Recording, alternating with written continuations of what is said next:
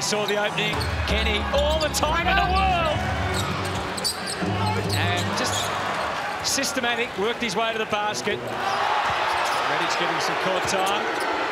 Just a row, and then Redhage puts up the three. Before the players got here. And that's nasty from three for Redhage. And, oh, there's the fast throw all the way down the court for Wagstaff. And seven points in the match. Three points in it.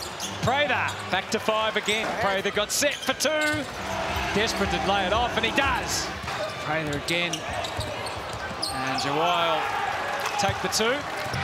All the time in the world for Beal to collect another three. Knight. Prather, no foul call.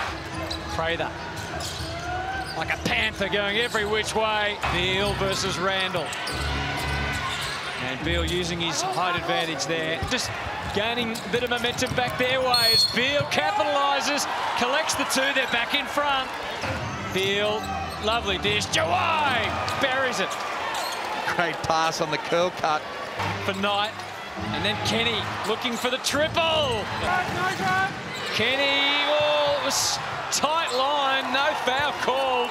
Plenty of holding, plenty of voice. Counts down to four seconds. Jawai comes up with the goal. The money man stumbles and goes to ground. And Knight will bury them. No, he gently rolls it in.